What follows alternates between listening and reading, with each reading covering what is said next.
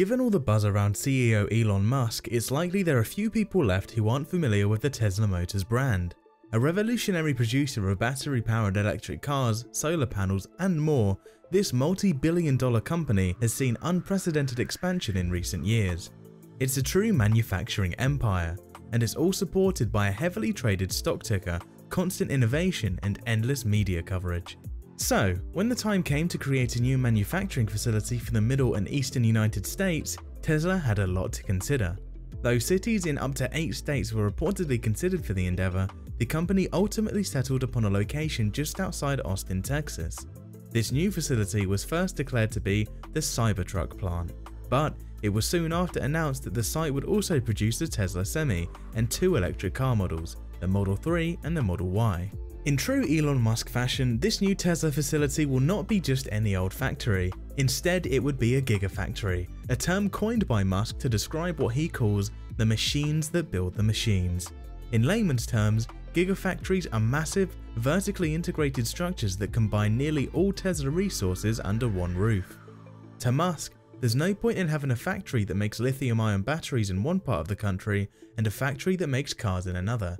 For a company focused on green energy, relying on that much travel would be both counterproductive and a waste of time.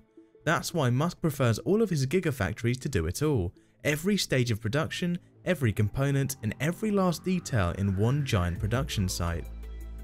Musk's initial goal for each gigafactory was for them to be completely energy self-sufficient, feeding off of a combination of solar and wind generators to make their own internal power grid. This hasn't been made a reality quite yet, but Tesla promises that it's still the end game for each factory they build. The first ever Gigafactory was located in Sparks, Nevada, where it still serves as the primary facility behind the Tesla machine. The second was erected a few years later in Buffalo, New York, and a third is currently under construction in Shanghai, China.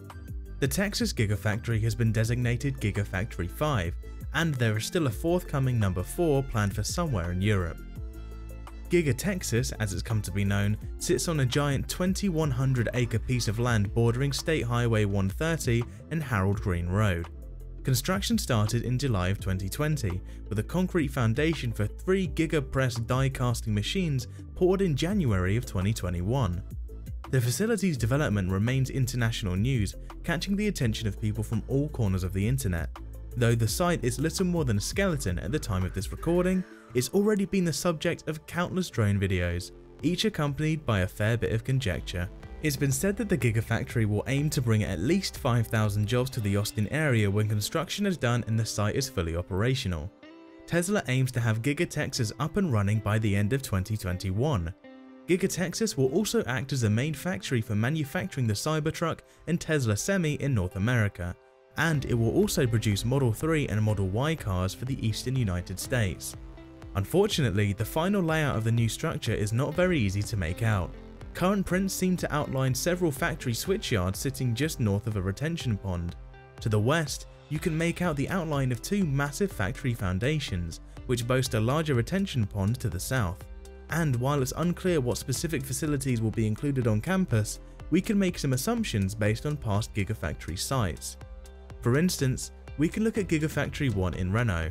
As of 2019, that site boasted around 5.3 million square feet of production area, However, Musk has remained adamant that there is still plenty of work to be done and frequently reiterates his plans to make Gigafactory 1 the largest building in the world in terms of footprint. Though Gigafactory 5 won't be quite so grandiose, it's fair to assume that Musk will expand into the surrounding desert as he sees fit.